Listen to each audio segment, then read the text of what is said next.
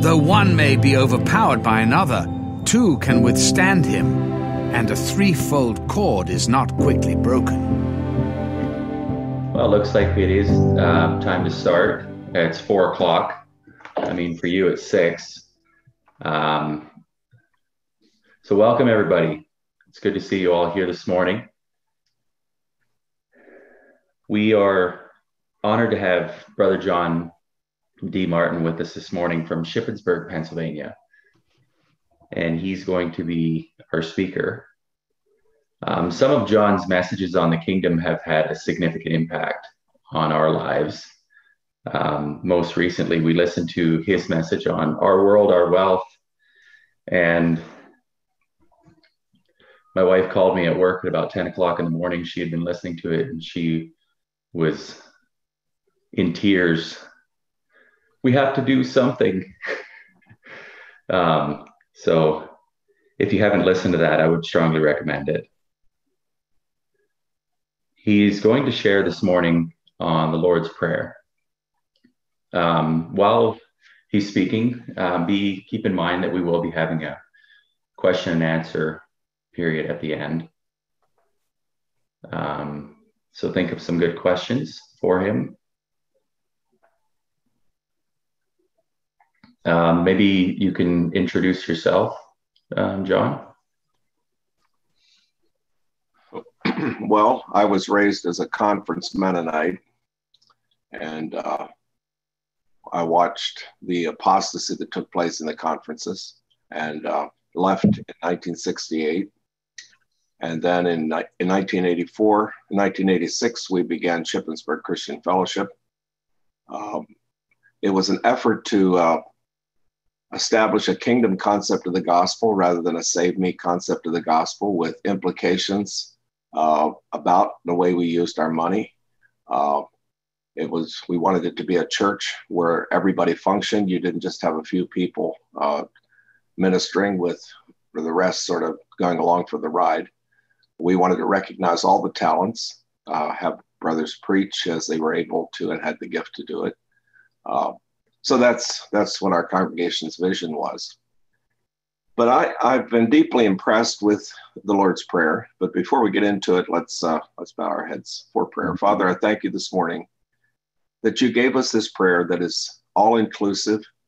It touches every area of our lives. And Lord, if we could just live this little prayer, uh, we would be uh, beautiful examples of what you want humans to be. So bless us this morning as we think about this prayer. Help us to internalize it. Help us, Lord, to uh, put it to practice in our lives and experience the same kind of results the disciples experienced when they learned to pray the way you taught. In Jesus' name we pray. Amen. Now, this prayer was given at the request of the disciples. Uh, they never asked Jesus to teach them to preach. They never asked Jesus to teach them to cast out demons. Uh, they never asked Jesus to teach them uh, any of those things. Uh, this is the only thing they ever said that they wanted Jesus to teach them. And I believe uh, the reason for that was because they sensed that everything else about Jesus' ministry was because uh, he knew how to pray, he knew how to make contact with his Father. And uh, so they asked him to uh, teach them to pray. You'll find that in Luke chapter 11 they saw that uh, he was praying when the Holy Spirit came on him at his baptism. They saw that he prayed after feeding the 5,000. They saw that he prayed all night before, or at least they knew he prayed all night before he uh, chose his disciples. He was praying when he was transfigured. He said, Demons can't be cast out without prayer and fasting. He said, Men ought always to pray and not to faint. And of course, his most notable prayer experience was in the Garden of Gethsemane before his crucifixion. And the thing we have to understand about prayer uh, is prayer is uh, not just preparation for the battle ahead. Prayer is the battle. Uh, if you turn to Mark chapter 14, verses 33 and following, or especially verse 33, uh, it says that there in the garden, he began to be sore amazed and very heavy now, that word sore amazed, if you study it, it means he was stricken with terror and horror and was desperately depressed. Now, we never think of Jesus having that kind of an experience. Now, I know, know if I was going to be crucified, I certainly would uh, have that. Uh, I'd be horrified. I'd be depressed. Uh, uh that, that would be the battle I would have to fight. And so Jesus fought that battle in the garden. And then when he left the garden, we see him struggling there. And uh, it says he sweat, as it were, great drops of blood. I mean, this was a real struggle. But then he left the garden, and we see him at the crucifixion with perfect poise. We don't see any struggle. We see he had command of, of every word, every action uh, through that horrible experience. And uh, so that that's a tremendous lesson that the battle is fought in, our, in, in prayer. If we don't fight that battle, we go out like the disciples did from the Garden of Gethsemane, and they all scattered. And Peter, of course, denied Christ, and uh, they just simply uh, fell apart. Uh, and, and, they weren't the one being crucified. Uh, so I think that's a good example of what happens when we don't prepare ourselves in prayer. Uh, and Jesus said that uh, demons are cast out by prayer and fasting. That doesn't mean when you're casting out a demon, you start praying and fasting. You don't have time to. Uh, what he meant was that should be your way of life, so that when you meet those kinds of situations, you're prepared uh, for the uh, for the crisis. So th- th- this this is a tremendous important part of our lives. We've heard this uh, probably all our life that prayer is very important, but I just really want to emphasize from the example of Jesus uh, how important that was and, and what it accomplished for him. In fact, Samuel said to Israel one time, he said, God forbid that I should sin against the Lord in ceasing to pray for you. Now, most of us don't think about uh, prayerlessness as sin, uh, but if sin means to miss the mark, which is what it means, uh, then to be prayerless is to be sinning, is, is to be missing the mark. And uh, that's what Samuel was saying. So Jesus gave this this wonderful prayer, uh, which the Anabaptists actually used for instruction. You can actually find some Anabaptist documents where they go through this prayer and use it to instruct their applicants as to what it really means to live the Christian life. So this was a very important uh, part of our uh, history. Uh, the Lord's Prayer has always been important to our people, but probably more important to our Anabaptist forefathers than it has been to us, even. And the disciples learned to pray um, as Jesus taught them because they they demonstrated by the lives they lived uh, after uh, afterward that they had learned to pray. Now this prayer is all inclusive. It includes the past.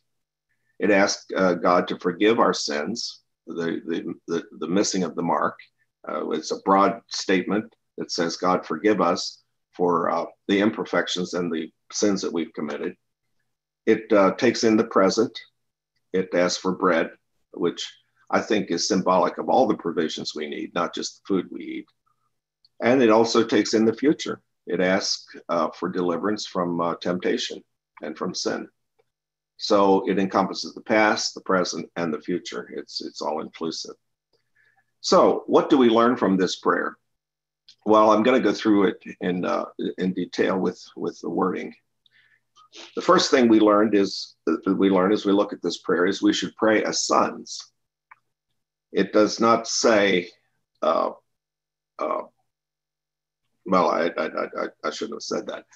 We pray as sons. We say Father, okay? And so right away we we have this conception that uh, he is as a child regards a father. A, a child regards a father as someone who is always right, uh, a father can be even uh, abusive. And psychologists will tell you that the child will say that it's their fault. They, they never blame the parent. Uh, a father can uh, be dead wrong and the child believes the father. I mean, that's, that's just the, the nature of children, that they, they have absolute faith in their father. in fact, I had a, a, a uh, seventh grade teacher who said that um, her father read to her a story before she went to bed one night. It was a story about an elephant, and just to be silly, like parents sometimes do, he the whole way through he pronounced it elephant instead of elephant. And uh, by coincidence, the next morning, the teacher read a story about an elephant. And of course, she pronounced it correctly. And uh, the first time she said elephant, uh, my teacher's little hand went up. Teacher, you're saying that wrong. It's elephant. And uh, the teacher tried hard to explain that no, that, she was pronouncing it right. And my seventh grade teacher uh, told us that her teacher never convinced her. Uh, she was sure that the teacher was wrong because her father had said elephant. Uh, that, that illustrates the, the total trust that a child has. In fact, uh, if you talk to a child when there's a divorce, they say, the child, one of the things children experience when there's a divorce is they experience a tremendous amount of guilt because they, they feel that their, their uh, little uh, wrongs that uh, caused their parents all this, uh, you know, they saw their parents upset because they, they, they didn't always do things right. So they blame themselves that because of their misbehavior, whatever it was, that's why the marriage uh, uh, was destroyed. So I'm, I'm just trying to show you the kind of absolute trust that a child has in a father. And so that's what uh, we say when we say father, uh, and he wants us to be children. He wants us to have that kind of absolute confidence in him that whatever he says is is right, whether we understand it, whether the people agree with us, whether it's going to uh, uh, look like a good thing or a bad thing for us to uh, do what he says. We just do what he says. We believe him absolutely uh, and don't question. And so that's the, that's the kind of relationship we're, we're implying when we say our Father. We are implying that kind of trust in God. uh, so, uh, it, this is a privileged relationship because our Father, in fact, does own the entire universe. And there's a song in our hymnal that says, Thou art coming to a king, large petitions with thee bring. And so uh, Jesus encouraged us to continue to ask, to continue to seek, to continue to knock. And by the way, those ETH words in the King James Version often mean that special Greek verb that means continual action. Uh, not not always, but uh, that's one of the reasons I like the King James version because those ETH words uh, uh, suggest that continuous action. And so Jesus, uh, we're told, everyone that asketh, everyone that asketh continues to ask. Everyone that continues to seek, everyone that continues to knock will receive. So, so you say, well, why doesn't God give uh, what we ask sometimes? Well, I think he does. I think we always receive, maybe not exactly what we ask. Uh, parents uh, uh, sometimes don't give children what they ask, they give them what they know they need, uh, which sometimes is very different from what they ask. And sometimes I think God does not answer our prayers because we don't continually ask. Uh, it's not that God has to be persuaded, it's that He wants something to happen to us. I give the illustration sometimes if my son came to the table and he said, uh, Dad, I want a bicycle, most parents would let that go in one ear and out the other. Uh, but then the next night he says, Dad, I want a bicycle, and uh, with a little bit more emphasis. If uh, for the next 30 to, uh, days, every night at the uh, table, he, he asks and it gets stronger and stronger. And finally says, Dad, I need a bicycle, and begins to describe the, the need. Uh, at the end of that, the dad will probably say, you know what? If I bought this boy a bicycle, I think he really would use it and appreciate it. And, and I think that's a little bit the way it is with God. He knows that we need sometimes to come to terms with how desperately we really do want something. And I don't know about you, but there are many times that there were situations that I prayed for once or twice a week, maybe. And then later I thought, well, you know, I, I haven't been praying about that. Uh, and so God doesn't take us sometimes any more seriously, I think, sometimes than we take our own requests. So we learn to pray as to a father. Uh, the second one is we pray as brothers. This prayer has not one singular pronoun. It's our Father. It's uh, uh, it never has I. It never has me. It never has mine. It's they're all plural pronouns. And our Anabaptist forefathers uh, had a statement uh, it said this no man can come to God except to bring his brother with him. And I think a lot of people, uh, here's a little visual.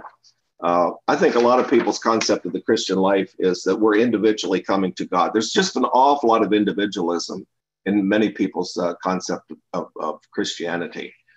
But the Anabaptists uh, had this idea that here we are, and we all come to God together.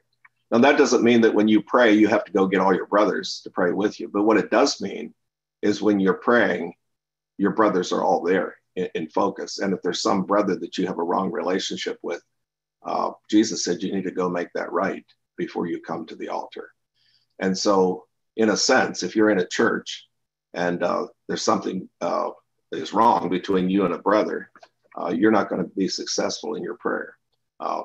And and that's another thing I think that uh, we don't take seriously. Uh, there's so much relationship problems. In fact, we had a little family get together last night, and and you know there was ver- various things discussed where people didn't weren't getting along, they weren't doing uh, well in their relationships, and I think that's one of the reasons why a lot of prayers aren't answered because God says, look, you get all your relationships right, and then you come to me uh, in prayer. So we pray as brothers. The in Ephesians it says that we will comprehend with all saints what is the breadth and the depth and the length and the height. And so God takes us very seriously in our relationships with our brother. If you turn to First John chapter 2, uh, it says if we, uh, let me read that. Uh, I want to get it exactly the way it says it. This really convicted me some years ago when I read this. It says, He that loveth his brother abideth in the light. Now listen to this. He that loveth his brother abideth in the light, and there's none occasion of stumbling in him. That's quite a statement. Is it true that all sin stems from some wrong relationship somewhere in one's life? It says, if we walk in, the, if we love our brother, we walk in the light, and there's not any occasion for stumbling in us. That's an amazing statement. And so this aspect, this part of the prayer puts tremendous emphasis on having a proper relationship with our brother. And uh, and I, I, you know, we're we're really getting into some uh, practical stuff in this prayer. Our relationship with God, absolute trust, all clear relationships with brothers. Uh, Christians simply do not uh, tolerate bad relationships in their life. Uh, in our community, there's someone that's a very close friend of mine. In fact, he's probably one of my closest friends. And he's probably the person that I disagree with the most on one of the most important issues in our lives. But we love each other. And uh, I'm not sure if we'll ever completely agree, but uh, there, there's nothing there's nothing between us as far as our relationships concerned. Not, unfortunately, I, I haven't always been able to say that, but it's something we should take very seriously. Our relationship with our brother. In fact, if you turn to First John, you'll find that John uh, discusses a lot of things. And then three times in the book, he dips down for an illustration. And every time, the practical illustration for what John is teaching in First John is love, love for the brother. And, and he makes it very clear that if you don't love your brother, you have violated whatever he has taught. That's the practical application. He gives no other practical applications. The only practical application John gives in First John is that we must love our brother. And if we don't love our brother, he says, then everything else is out the window. You're, you're really not living the gospel if you don't love your brother. The third thing we find in this prayer, which art in heaven, we pray with reverence. We realize that God is the great other uh, and that uh, he is not like us. In fact, in, in Psalm chapter 50, down near the end of the chapter, it says that people who worship idols the problem is they thought that God was altogether like they are. They were. That was the problem. They brought God down to their level. Now Jesus came down to our level, but he didn't come down to our level to stay on our level. He came down to our level to lift us up into the, level uh, of God. And so uh, we need to remember that God is in heaven and uh, he is the great other. And we don't see anything properly unless we see it from that heavenly perspective. I often think of uh, the example of the spies when they went into the land of Canaan. Uh, Ten of them, of course, had uh, they all saw the same thing. They they all they all saw the same information. They all looked at the same uh, settings, but they came back with two very different reports. The ten said, "This is a land that eats up the inhabitants thereof." Now I don't know what was happening in that land. I don't know if they were killing each other. I don't know if there was a plague, but they said, "Look, if we go into that land, we're going to die. We saw it with our own eyes. The other two saw the same thing. And they said, Well, you don't understand. These people are bread for us. God is getting this land ready for us, and that's why they're dying. You don't understand. You don't have the right perspective on this uh, uh, death that's taking place in, in, in the land. God is getting it ready for us. Now, why did they say, why did they have a different perspective? Because they believed that God had told them to go in and take the land. And so that was the only way they could figure it out. That if they were to go in and take the land, then the death of those people in the land didn't mean they were going to die. It meant God was preparing it for them. And I just give that as an example of how uh, the Christian's perspective is altogether different if he remembers that we have a Father in heaven. He has a total perspective. And I say it many times in our, uh, my conversations with people on the telephone from the billboards. Uh, I say, look, I can give you some suggestions about this hard question you've asked me, but don't expect me to completely answer it because my perspective is not large enough. There is a larger perspective that we do not see. And that's why we have to trust in uh, uh many areas of our life. so, uh, the heathen concept of God is to manipulate God. The Christian's concept of God is to explicitly trust and obey God. And I feel that even a lot of Christians, in fact, when I talk to them, you know, they want me to pray that something will happen, that God will do something for them. And I often think that, you know, we get into this thing of trying to manipulate God. That's a heathen. That's a heathen concept of God. Christians do not manipulate God. They try to get themselves in harmony with God. They try to cooperate with God. They don't manipulate God. So it's the God is in heaven. So we, we pray with reverence. The second thing that we learn is we pray for reverence. We pray that we will reverence God more. Hallowed be thy name. Uh, we will never make any progress spiritually until we come to terms with God's holiness. We go back to First John again. John makes a tremendous promise early on in his uh, uh, book. He says, I, I wrote this to you that you may have fellowship with us and truly our fellowship with the Father. I wrote this to you that you may be filled with joy. And you read those first verses and you say, This is tremendous. I want that kind of relationship. I want the joy. I want all this that John is talking about. But then you get to verse, uh, I think it's verse five, where he says, This then is the message that God is light and in him is no darkness at all. And then John gets very serious about taking sin seriously and committing ourselves to holiness. And so uh, our experience with God is all wrapped up in our pursuit of holiness. Many people think that the goal in life is to get to heaven. Jesus said at the end of chapter five in, in uh, Matthew, he says, Be ye perfect as your Father in heaven is perfect. And we shy away from that word perfect. But the fact is, the Christian life is a call to perfection. Be ye holy, for I am holy. Paul says, I labor to present every man perfect in Christ. Now, we never completely attain that, but that is the passion that God wants to see, that we really do want to be absolutely perfect. And we're keenly aware when we're not, and, and we deal with it when we're not. But the, the Christian life is a commitment to holiness, it's a commitment to the character of God. And, and I think that we should be very uh, uh, solicitous about God's character. I think we should be, well, pardon my problem with my suspender here. I, th- I think we should be uh, very careful. We, we don't want in any way to besmirch his character. Uh, people look at us and they get their concept of God from us. I mean, that Westboro Baptist Church, I don't know how many times people bring that up on the telephone. This awful church that uh, goes uh, to places and, and says, God is judging you and, and gives all kinds of horrible concepts of what, uh, of, of, what kind of person God is. Uh, we, we need to always be careful to, to sanctify the uh, impression that people have of God. Oh, to be like thee is a song that I've always enjoyed. Uh, Pure as thou art. What is holiness? You know, at Eastern Mennonite College years ago, uh, they were trying to, uh, one of the classes was trying to do a motto, and uh, they uh, couldn't decide whether they wanted the motto to say wholeness or holiness. Uh, I forget what the motto was, but uh, they could choose one of those two words, wholeness or holiness. Well, the fact of the matter is they both mean the same thing. Uh, the word holy is from the uh, Greek word halik, which means health.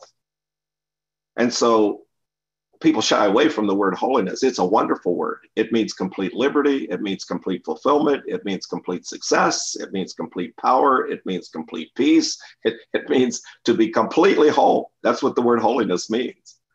And we should have a passion for that. Uh, that should be our, our passion. And the Bible says if we walk in the light as he is in the light, we have fellowship one with another. And the blood of Jesus Christ, his son, cleanseth us from all sin. And there, cleanseth, see that ETH word? It's a constant cleansing. And uh, it's just a blessing to me to know that even the sins I commit never appear on the record. They're cleansed by the blood of Christ if I'm walking in the light. Now, of course, if I'm walking in the light and I realize I've sinned, I go deal with it. I don't get careless about it.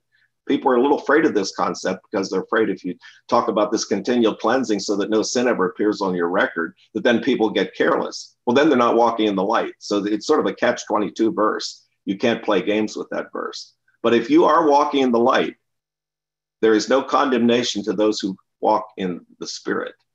Uh, Romans chapter 8, verse 1. Nothing ever comes between us and God if we walk in the light. So the Christian life is a commitment to holiness, uh, and it's a beautiful thing, and, and we should uh, we should love that word. The fifth thing we pray for: Thy kingdom come. We pray for realization of Christ's kingdom. God's first priority on this earth is his kingdom, not my personal salvation. It doesn't say, seek ye first to get to heaven, seek you first to escape hell. In fact, Jesus didn't say, repent if you want to go to heaven. He said, repent for the kingdom of heaven is at hand. That was the first thing he said in his ministry. And it is a mystery to me how the Christian gospel, even in our own uh, circles, got changed into what I call a save me gospel, which ended up with a whole bunch of individualism and and and I think the apostasy that took place in the church. Uh, God's first priority is the kingdom. He saves me because he can't have a redeemed society unless he has redeemed people. I don't think God saves us primarily to get us to heaven. I think he saves us primarily because the thing that he wants more than anything else in relation to, to this present time is little colonies of heaven that demonstrate the lost ideals that God had for man and for society. So the world can look in and say, yeah, that's what down deep in my heart I know humanity should be. I want to be part of that. Uh, but there's just, to me, there's just so much individualism in Christianity. It's all about me. It's all about me getting to heaven. And uh, if there's one thing that I hope my life accomplishes, and that is that it, it, it does something about that problem and begins to change our people to a kingdom gospel. Uh, that verse in Philippians says, Our citizenship is in heaven. Uh, I like that. Uh, it pictures a colony. And Philippi was an example of that. Philippi was a Greek city in the mid, I'm sorry, a Roman city in the midst of a Greek culture. If you walked to Philippi, you walk, you saw on the way, you saw Roman law, you saw Roman dress, you heard the Latin language. But the minute you stepped inside of the city, it was Greek. It was Greek uh, law. It was Greek custom. It was Greek uh, uh, dress. And did the people in that city, like many Christians, say, "Oh my, I, I have to be so different in the midst of all this uh, surrounding culture"? No, they, they took it as a matter of honor that they could be Romans in the midst of this Greek culture. Romans were superior to the Greeks. Everybody else was barbarians except except the people in Philippi, and uh, and I think that that should be our concept that that we have the opportunity to be part of the ideal society that God always intended. That Jesus now made possible by removing the problem, which is selfishness. And by the way, that's that's I've come to believe that the word selfishness is a synonym for sin. That's really what sin is. It's selfishness. That's what we have to do to get rid of it, put self on the cross. And it, to me, it's such a privilege to live with the genuine antidote for selfishness and sin and be able to live out this ideal that God always had for humanity. Most Christians do not think about that. They don't think about that as a tremendous privilege to be holy, to have holy relationships, and to enjoy what humans were always intended to experience. So, so we pray for a realization of his kingdom. I hope you're getting this, that this prayer really does zero in on, on, on the, all the important aspects of life. And so we come to the next one, Thy will be done on earth as it is in heaven, or in earth as it is in heaven. Uh, we pray for obedience. God has no plan of salvation for the unsurrendered will. Thy will be done on earth as it is in heaven. For someone to be w- willful against God or against a reality, uh, there's no place. God has no place for that in, in his in his plan. So people say, well, how do I know the will of God? Well, I, I've come up with three three things that I always say. First of all, and this is axiomatic, it's not the will of it's it's not uh, the will of God if it contradicts anything that uh, God said. Uh, the Anabaptists had a, a, statement: "No understanding of the Scripture is the proper understanding if it contradicts anything Jesus said or did," and that, that that's important. Well, you say, "Well, we all know that." Well, I'm not sure we all know it. Uh, we sometimes uh, uh, pray for God's will uh, for things that we should know better. I mean, it's sometimes it's a little bit like uh, you you go to a bank and you see a man uh, in front of the door on his knees just praying his heart out, and you say, "What are you praying for?" And he says, "Well, I'm I'm praying to find out if it's God's will for me to rob this bank."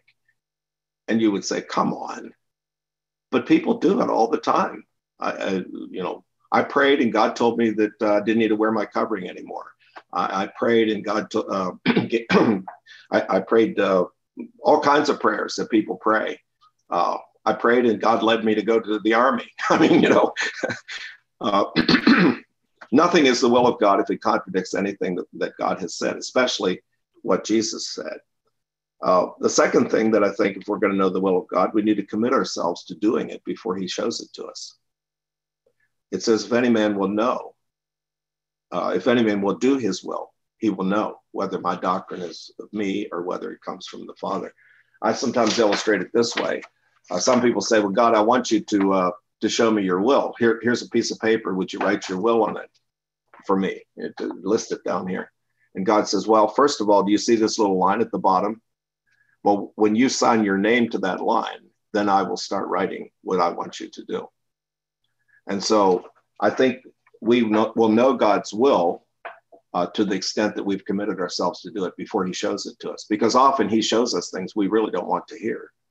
After having done them, we're glad we did them and we see the, some wisdom in it. But often they don't look like something uh, that we would have ever wanted to do. And the last thing so the first thing is nothing's the will of God if it contradicts anything that God has said. Number two, God probably isn't going to show us his will unless we are committed to do it before he shows it to us. And the last one is he shows his will to people who are committed to pleasing him. There's a difference between obeying and pleasing. Uh, and we talk a lot about obedience, but I think we should be talking more about pleasing God. If uh, if I go to town and I tell one of my children, now when I come home, I want the dishes washed and I want your room straightened up, and they do that, that's obedience. But if while I'm in town and they wash the dishes and they straighten up their room, and then they say, you know what? Dad said he wanted me to uh, uh, weed the garden. Now it's a hot day and I hate to weed the garden. It's the last thing on my list to do that I would want to do. But I want to really make mom and dad happy when they come home from town. So I'm going to weed the garden, even though they didn't tell me to. That's the kind of obedience that God wants. He, he loves people who please him. David one time said, I want to build God a temple. And uh, God sent Nathan, and Nathan said, Yeah, go ahead. And then you know what happened in the night? God said, No, no, you go tell David tomorrow that uh, uh, he's not going to build the temple. But it's interesting what, what Nathan said to David. He said, Did God ever tell anybody he wanted a temple? Now you look at what God told the children of Israel. He never gave them plans for a temple. He gave them plans for a tabernacle and he was perfectly happy to dwell in that tabernacle. He never there's there's not nothing in his commands to Israel that he wanted the temple. And so what God says to David, he says, It really makes me happy, David, that you wanted to build a temple. I never said I wanted one, but you understood that that would please me. And because you wanted to please me, I'm not going to let you build me a temple, but I'm going to build you a house. And that's where God made the promise that David would always have one of his descendants sitting on the throne of Israel. uh, that pleased God so so completely that He made that tremendous promise to David. And so I think we should think in terms of pleasing God. What will put a smile on God's face? We should understand. David was a man after God's own heart. David wasn't interested just in obeying God. He wanted to know the heart of God. He wanted to go there and please God. He wanted to to to uh, uh, put joy in God's heart. The next thing we pray for is necessities. Give us, notice that plural word. So you brought your paycheck home. What is it your paycheck? No, it's our paycheck. And that's another thing we don't think about. We tend to think that what we have is ours. I mean, mine. No, give us this day our daily bread. When you bring that paycheck home, that belongs to the entire brotherhood. It's not your paycheck and it's daily bread. So if you want to talk about non accumulation of wealth, there it is. Give us this day our daily bread. Uh, the Bible says we're uh, uh, to go to the ant. Well, you say, well, the ant lays up for the future. But where's the ant's future? It's on this earth. We're supposed to lay up for the future too. But where is our future? It's not on this earth. In fact, he says, lay up treasure in heaven. It's not wrong to accumulate wealth. We're supposed to accumulate all the wealth we possibly can, but we're not to accumulate it here. And so we pray, give us this day our daily bread. So you bring the paycheck home, it doesn't belong to you, it belongs to the entire brotherhood. And how should you feel about that? Well, if you go to First Corinthians chapter 9, verse 8, Paul's giving a lot of teaching there on uh, uh, giving. And uh, he says that we're supposed to be cheerful givers. Well, if you look that word cheerful up, it's the Greek word hilaros. It's the word we get hilarious from. Uh, God wants us to be hilarious givers. Uh, I tell people that when the offering basket is passed at church, you should hear chuckles all up and down the pews as people are putting their money in. Uh, that should be our attitude toward giving. And the interesting thing is, the very next verse says, if you're a hilarious giver, this is how God responds. God is able to make all grace abound towards you, that you always, having all sufficiency in all things, may abound unto every good work. Now, that's a fabulous promise, but don't take it out of context. It's in the context of people who are hilarious givers. If you're a hilarious giver, God is a hilarious giver. We often hear the statement, you can't outgive God. He, he opens up to the person who is a, is, is, a, is a joyful giver, he opens up all the resources he has lavishly. Uh, the word abound means no limits. so, uh, so we pray that God will give us our daily bread, us our daily bread. And we, we, we, and if every Christian practices this, there would be no need for accumulation on this earth because my resources would be your resources and likewise every you know there would be a constant uh, giving and, and and meeting all of the needs and nobody would need to accumulate anything one of the dreams we had when we started our church which was never realized is that all of us would get out of debt and if somebody needed housing we would all just take up the money and and, and pay cash for it uh, that was a rather radical concept and we got a lot of interesting press on. Uh, but anyway, uh, that is how it would work. You know, if nobody's in debt, then in the next six months, we probably, not a very large congregation, could, could come up with the money to buy a house for somebody uh, with cash. But unfortunately, uh, we had so many people come into our circles that had so much debt that uh, we spent a lot of time paying off debt and never were able to realize that, that ideal. The next thing we pray for is for forgiveness. Forgive us our debts as we forgive our debtors. Now, forgiveness is the basis of all human relationships. I want you to think about this. We're all human, we're all imperfect, we're all going to disappoint each other. We're probably all going to hurt each other till it's all done. And if we don't let if we don't learn to forgive, human relationships will suffer. And the reason why we don't so readily forgive is because it is so unjust. If you forgive somebody, it means you took all the hurt, you took all the indignation, and you let the other person go free as if it never happened. That's what Jesus did for us. Now, that doesn't mean you can't challenge the other person. Uh, Joseph did. He put his brothers through the paces because he wanted reconciliation. He, did, he had already forgiven them. There was no question about Joseph's forgiveness. But reconciliation is, is something else. Uh, you can forgive, but unless the other person takes his responsibility, the relationship will never be what it should be. So we sometimes have a, a, a responsibility to find very creative ways to bring that other person to a sense of his responsibility. But we never do it by putting hurt on the other person uh, uh, out of revenge. And so forgiveness is the basis of all human relationships. And I say this in every wedding message. I know you people are standing in front of this altar with all kinds of fuzzy feelings, and you have no concept that you'll ever hurt each other, but you will. And you might as well make up your mind before it happens what you're going to do. You're just going to let it go as if it never happened. And uh, that's a hard thing to do. My children would say to me, "But Dad, you don't know what they did to me." And I said, "Well, that's what forgiveness is. What they did to you. I mean, if if they hadn't done anything to you, you wouldn't need to forgive. I mean, that is precisely what it is. It's uh, learning to take it uh, and uh, let the other person go free." And Jesus uh, makes a, a tremendous statement here in the Lord's Prayer.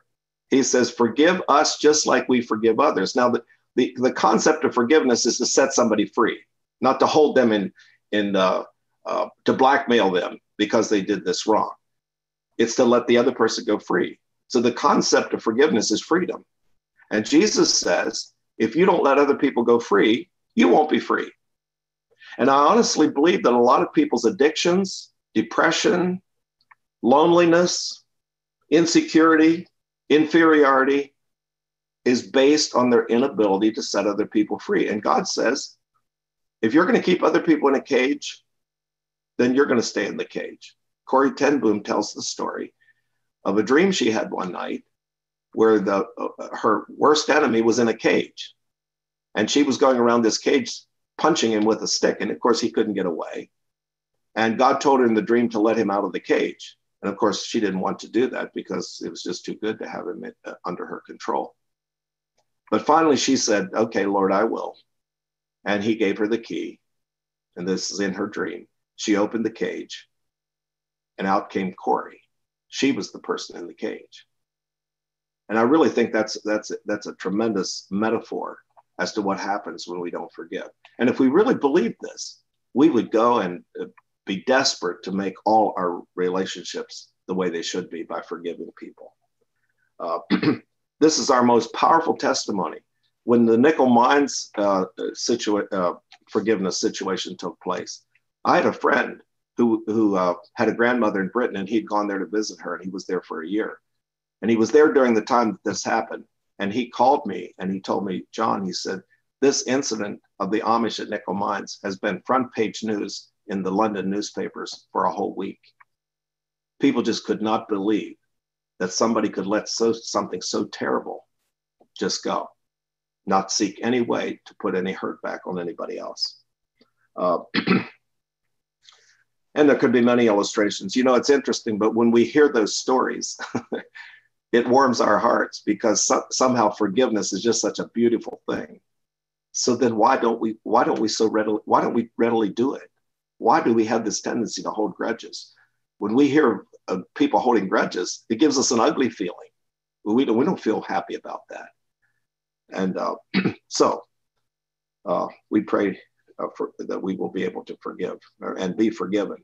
the next thing we pray is we pray against temptation. Now, we don't pray to be delivered from trials. We are promised we're going to have trials. Our faith is the most, uh, personally, is the most precious thing to God. And you know, if you have a precious metal, we all know what they do to refine that metal. They put it under tremendous heat. And God will try our faith. He, he, he, allowed Job to be tried. Uh, he, you know, Paul, and then Paul says, Paul, Paul got this idea. He says, I glory in tribulations. Read Romans chapter 5. I, am not going to ask you folks to raise your hands, but I don't know how many of you glory in tribulations. I, I haven't quite gotten there yet. But Paul says he glories in tribulations because it works patience, and patience gives him character, and character gives him hope. And out of all that preparation, he's able to love. Uh, that's tremendous. So we will we will be put under trial. But what happens in temptation is we're in the trial and we refuse to allow the trial to, to have its work in our hearts. And we start blaming God or blaming other people, getting on the telephone. That's where it that's where it morphs from a trial into temptation. In fact, it says we're to be harmless as doves toward people. And we're to be reverent toward God. We're never to blame God. In fact, that, that's an awful sin to blame God. But people do. Why did God allow this to happen to me? Well, if that's the kind of God, I hear that all the time. Uh, so we pray that we will not lose faith in God and we will not lose faith in people. We pray to be guarded against temptation because our trials very quickly lead us into doing wrong things and uh, we, we, we find ourselves in sin. We don't, we, the trial does not make us better. It makes us, like people say, bitter. And, and that's what we're praying against. We blame God. Uh, so, but we're up against tremendous odds. It says we wrestle not against flesh and blood, we wrestle against principalities and powers. There's a song in our hymn that says, uh, 10,000 foes arise to draw me from the skies. Well, there probably are at least that many. And our deepest dread should be sin. That should be our deepest dread. Uh, and I like the song that I have in my hymnal. I want a principle within a watchful, godly fear, a sensibility to, of sin, a pain to feel it near. Help me the first approach to feel of pride or wrong desire, to catch the wandering of my will and quench the kindling fire. Uh, you can say whatever you want to about the Wesleys, but there are two things that uh, the Wesleys uh, would teach us. Number one is a passionate devotion for Christ, and number two is a hatred for sin. Holiness and uh, worship were the two things the Wesleys emphasized and, and practiced. So we pray against temptation that we will not, in the trial, begin to uh, react wrongly toward God or toward men. And then we pray for deliverance. Deliver us from evil. Uh, I think this is the self, self, subconscious cry of every person the freedom to be our best. I like that song in our hymnal. It says, Oh, life in whom is life indeed, through whom our best desires are freed. Stir thou that life in us, we pray. We come to thee. We come to thee. I think every person wants to conquer pain, bitterness, disappointment, worry, loneliness, poverty, broken dreams, and hopes. We all want to be delivered from those things. I mean, even, even sinners want to be delivered from those things I just listed. And the th- wonderful thing about Jesus is he, he never denied the reality of sin. You know, we live in a world where people have denied the reality of sin. I talk to people all the time. Well, I don't need Jesus. I'm a good person. I know I can make good decisions. I, I you know, I, I'm a good person.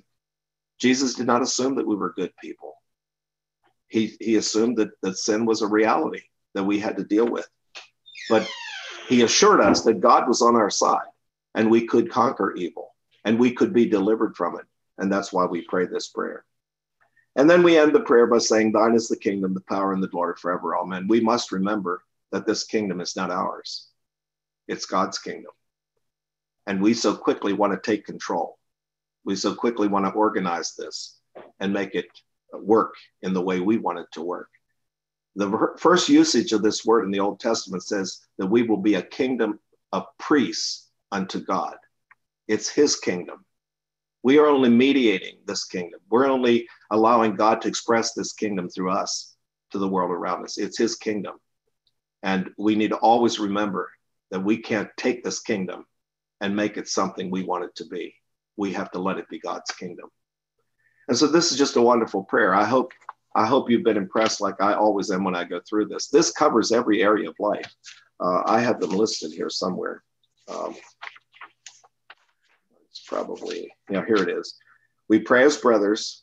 We pray uh, as sons. We pray for reverence. We pray with reverence. We pray that God's kingdom will be realized. We pray that we will obey. We pray for daily necessities. We pray for forgiveness. We pray against temptation. We pray for deliverance. What more would you add to that list?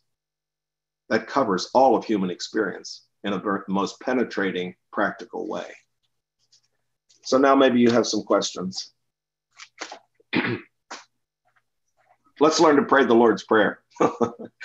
uh, the early church prayed it at least three times a day. Uh, I don't think I managed to do that. I, I pray it when I have my prayer time in the morning. I always begin with the Lord's Prayer, and I try to concentrate on the, what I just told you when I'm praying it. Uh, will you tell us what hymn it is that has the remark of you're praying to a king to take large, make large prayers? I can't think of the first words. You know how that is. You try to think of a song and you can't think of the first words. But I'll try to get that to you, Dan. Okay, because uh, starts... I, I, just found that gave me a spark when you said that. Yeah. When, when we pray uh, at, in our Sunday morning meetings, uh, we uh, we have prayer requests, and uh, some of them are like big, and I just find them overwhelming. Mm-hmm. Like uh, pray for uh, our situation with the with the virus. Yeah. Oh my! What a monstrous snafu that is on top of a really hideous infectious disease. Yes. Another one is Honduras. Um, oh man, you know, if you want, if you have a family that you want to pray for because they've been washed out, well, you know, you can think of, you can enumerate things uh, to request, but for a whole country, oof. so it was encouraging. I wish that that was somewhere in Scripture. Uh, you have a copy of my hymnal, don't you, Dan? Oh, yeah. Mm-hmm. 823. Come, my soul, thy suit prepare. Jesus loves to answer prayer.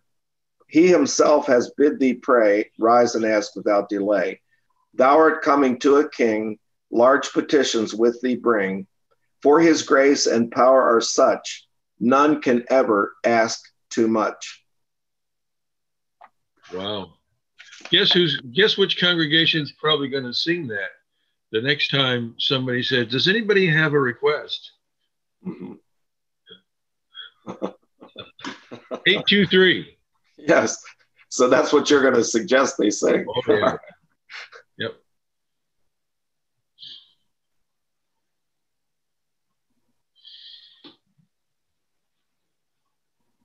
Thank you. You're welcome. I hasten to say that I have not uh, learned to pray this prayer uh, like we should pray it, but I, I keep working on it. Uh, I have I have written uh, some alternative verses to Sweet Hour of Prayer, and okay. one of them says, uh, "Shall we present our covet list when we, our Lord's prime one, have list have, have missed? Shall let my lips of request be dumb till I have prayed, Thy kingdom come. Oh, that's good. Yeah.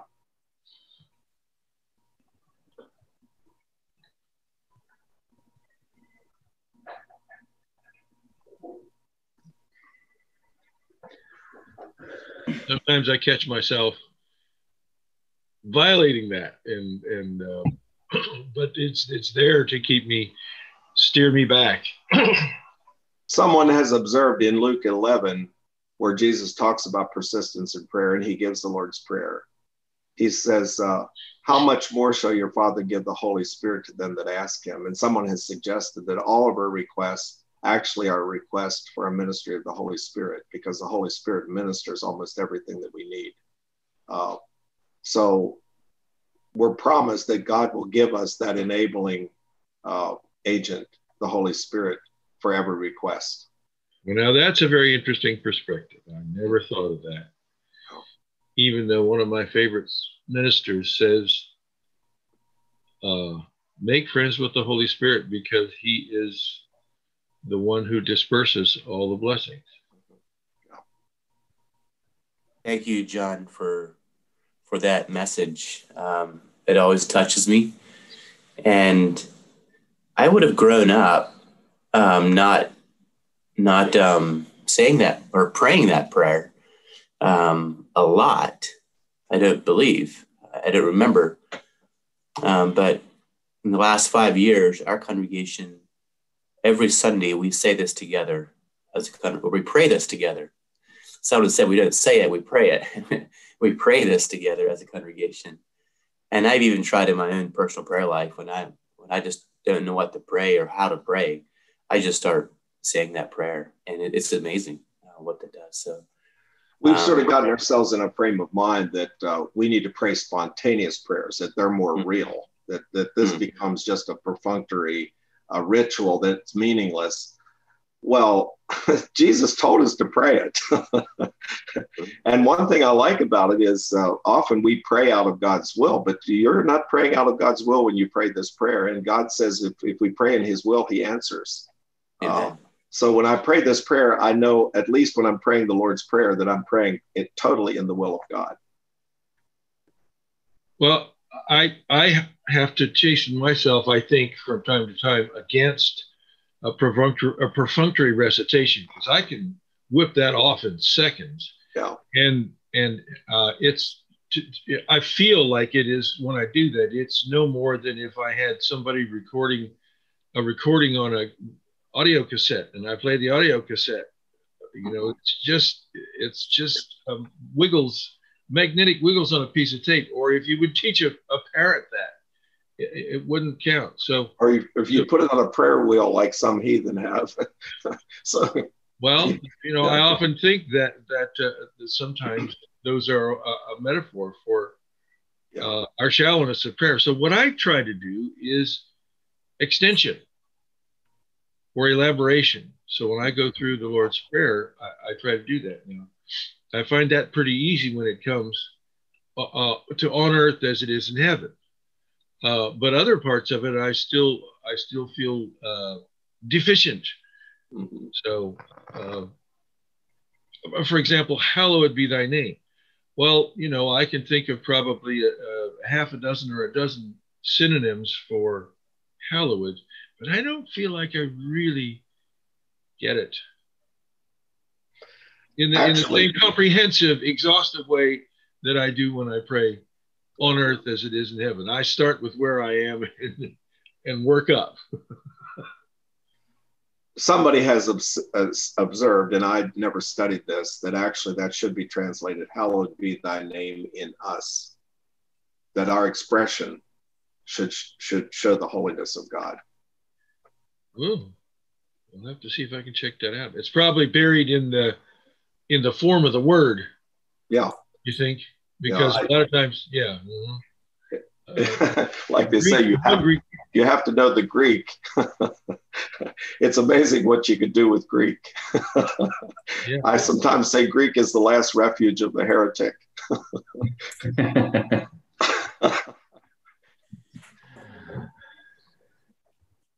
yeah, I've been greatly moved this morning um, and challenged in hearing this.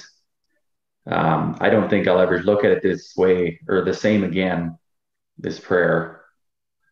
Um, I knew it had a lot in it, but every aspect of life, um, it's fantastic. Is there any other questions?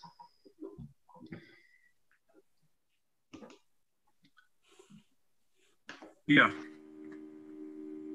Can you hear me? Yes. Uh, first of all, I want to thank you, John, for pointing out uh, First uh, John two ten. That I, I, thanks for thanks for that uh, lifting that up. And the other thing I wanted to mention, John, is um, I was sometimes I get a little uncomfortable with the um, the term in that prayer where it says, "Give me this, give us this day our daily bread." I just I guess I'm asking whether anybody else gets a little uncomfortable with. I guess I, I wish there was a softer way of asking for that. Does anybody else ever have that uh, feeling, or is it just me? You think it sounds a little bit selfish? Well, I, I don't know. It just I, it seems demanding. I I wouldn't say it that way to my my mom. Um, well,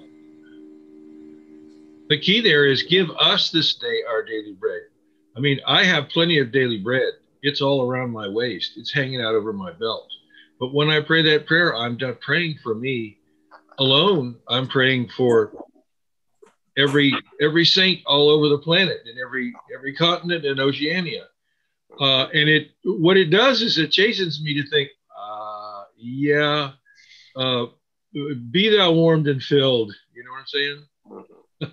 and not not do something about it. So I don't think that that in that form it is uh, inappropriate or selfish. Then it's what God said to do. Back to the Wesleys, that's another area where they shone, or especially John. Uh, he really took seriously that uh, what he believed, what he owned, what he had was not his own. Uh, they say that in today's money, from the sale of his books, he would have had an income of about $140,000 a year. But in today's money, they he took a salary of $14,000. And if you read his journal, he gave a, a significant amount of that away. Uh, he really did take seriously. And I think of uh, the verse in Luke 16 that says, If you are not faithful in the unrighteous mammon, who shall commit to your trust the true riches? And for all the disagreement I would have had with Wesley, the infant baptism, the membership in the Church of England, and I could say some other things where I, I don't feel uh, uh, non resistance was not a huge issue with them. But I think this one thing, God was able to just pour out blessings upon them because they got this one right. And this one is more important, I think, than most people realize.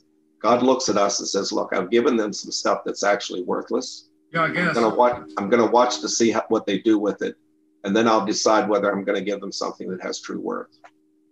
Uh, and I think that's another explanation for a lot of uh, failure and powerlessness among Christians.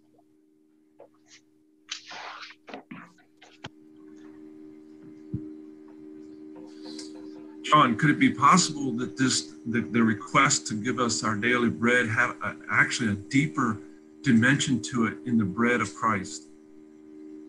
Go ahead. I'm listening. Yeah, that's, I said it. Okay. Yeah. Yeah. Well, I, I think I, I, I, did mention there that it, it, I don't think it just means bread. I think it means all of the provisions that we need for the day.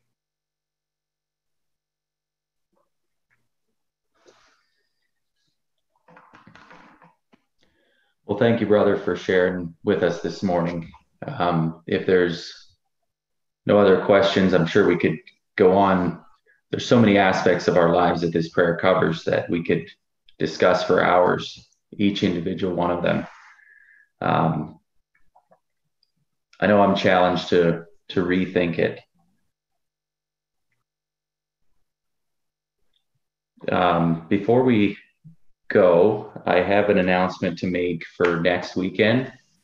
I'm sure some of you have got the reminder for a special event we're holding next weekend on January 9th. Uh, we plan to have two of these calls one, the regular one at six o'clock in the morning. And there's going to be three different speakers in the morning. We're going to have Patrick Matthews and Andrew Kurtz are going to share about their food distribution. Um, actually, Patrick Matthews is going to oh yeah, both of them are doing food distribution, and and Jonathan Heisey from Colorado is going to be sharing about his interactions and ministry with the international students in the morning, and in the afternoon we are going to have a um, question and answer discussion with uh, David David Bercot from um, Chambersburg, I believe. So be praying about that. And for the afternoon session, um, come with questions for that discussion. Um, am I getting everything for that, Bryant? What time is it in the afternoon? Sorry, yes, three o'clock Eastern time. I'll be taking no board calls. yeah, thank you, Sam. Um, it, it, would actually be we've had some questions roll in, and if you if you could get if you have any specific questions uh, related to um, the circumstances of our day um, and how we move forward um, as as Kingdom Christians, uh, specific and, and, questions specifically for David Bercot for all of you you know who read his books, etc. Um, Sam and I are going to be moderating that call. It's going to be a little bit different configuration. You won't be able to ask questions live, uh, but you'll be able to submit them uh, throughout the discussion uh, via the chat button here on, on Zoom. Uh, that's how that's going to work. But um, but if you can get questions to us beforehand, that'll that'll be the best. We can kind of compile them and, and be a little prepared. So, but yes, at three o'clock for um, basically one hour next Saturday. Thanks, Sam. Okay. Yeah, the title for the afternoon is Direction and Chaos, and that's in relation to um, the year we've had. I know it's a new year now, and the the difficulties that it's created for the church and relating to those the situation that we find ourselves in uh, globally.